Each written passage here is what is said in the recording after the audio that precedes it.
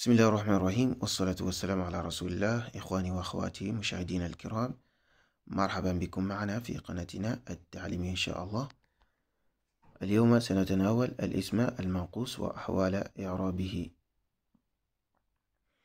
ونبدأ مع الأمثلة ونقول الأول فر الجاني حبست الجانية الثاني عدل القاضي نحترم القاضية الثالث نادى المنادي. سمعت المنادي الرابع يندم الباغي. يكره الناس الباغية. ونأتي إلى الطائفة الثالثة. نقول الأول نظرت إلى الجاني. الثاني قمنا إجلالا للقاضي. الثالث أصغيت إلى المنادي.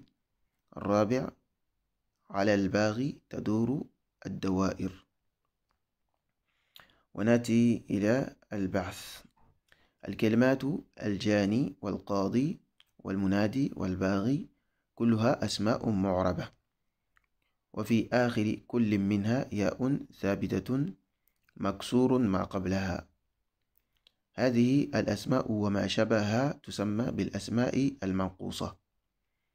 وإذا تأملنا هذه الأسماء وجدناها في القسم الأول مرفوعة لأن كل منها يقع فاعلا.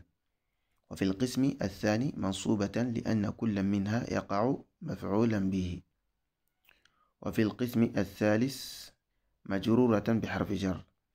ولكننا لا نرى هنا من علامات الإعراب سوى الفتحة التي هي علامة النصب. فما السبب في ظهور علامة النصب وحدها واختفاء علامة الرفع والجر؟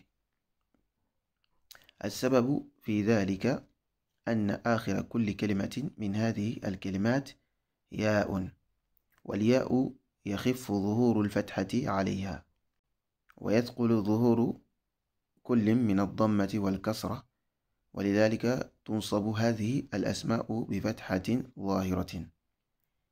وترفع وتجر بضمة وكسرة مقدرتين على الياء.